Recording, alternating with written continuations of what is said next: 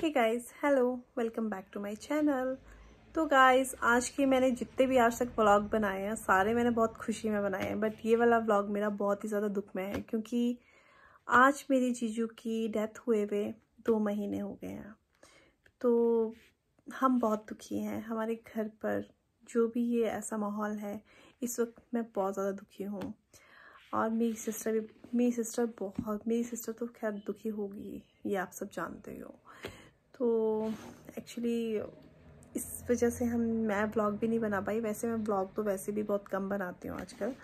तो तो फ्रेंड्स मैं सबसे पहले यही कहना चाहती हूँ, उन लोगों को थैंक यू कहना चाहती हूँ जो हमारे साथ इस दुख में खड़े हुए। जिन, क्योंकि एक्चुअली कोई अपना, अपनी उम्र का जाता है आदमी तो उस आदमी का दुख हमें होता है। बट ये है कि वो अपनी उम्र काट के जाता है। बट जो मेरी जीजू गए हैं, वो फोर्टी थ्री ईयर्स में गए हैं। तो मतलब कि हमने सोचा नहीं था कि ऐसा हो जाएगा। सोचा क्या? हमने कभी ख्याल में भी नहीं आया हमारे कि ऐसा हो जाएगा।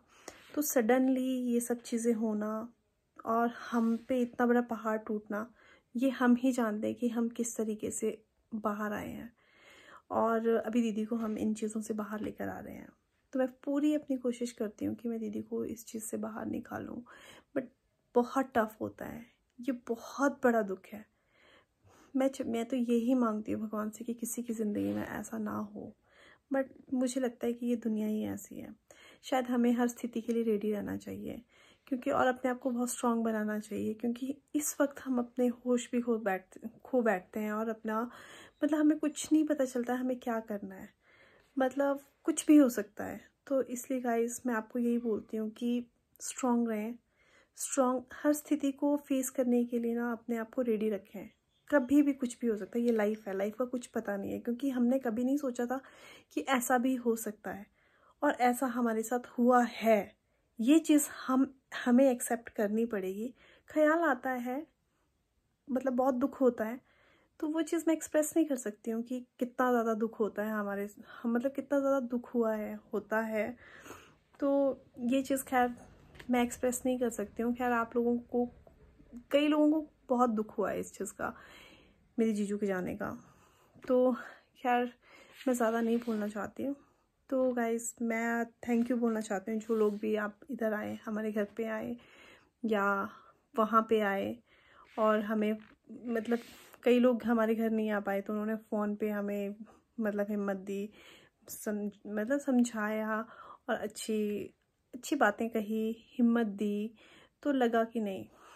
चलो क्योंकि एक्चुअली कोई साथ खड़ा हो, साथ समझाए हमें, उस टाइम दो बातें भी बोली जाए तो भी बहुत बड़ी लगती हैं कि नहीं, ये लोग हमारे साथ हैं, ये लोग हमारे पास आए, इन लोगों ने हम हम मतलब ये चीज़ हमें जानते हैं, क्योंकि गाइस इस चीज़ का मैं खैर बता नहीं सकती कि हमें कितना दुख हुआ है।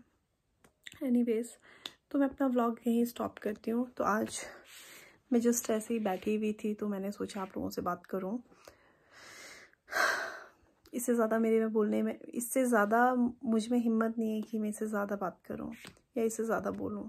तो गाइज़ मैं इस ब्लॉग को यहीं एंड करती हूँ। तो गाइज़ मैं जल्दी से जल्दी ब्लॉग बनाने की कोशिश करूँगी। होपफुली मैं घर का माहौल अच्छा करने की कोशिश कर रही हूँ कि दी को भी सामने लाऊं या दी से भी आप लोगों की बात करवाऊँ बट वो नहीं करेगी। क्योंकि उसको कैमरा फेस वो कैमरा फेस नहीं कर पाएगी मुझे पता है। बट uh, मैं हूँ मैं करूँगी।